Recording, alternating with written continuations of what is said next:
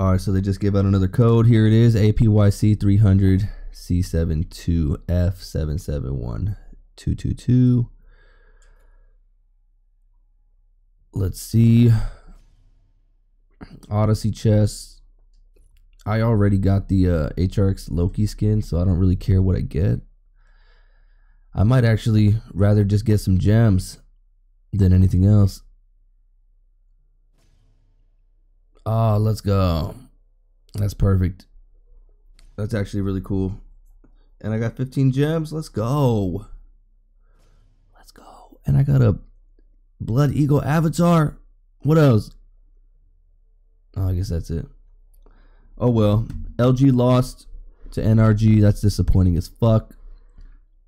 But I did get the Loki skin.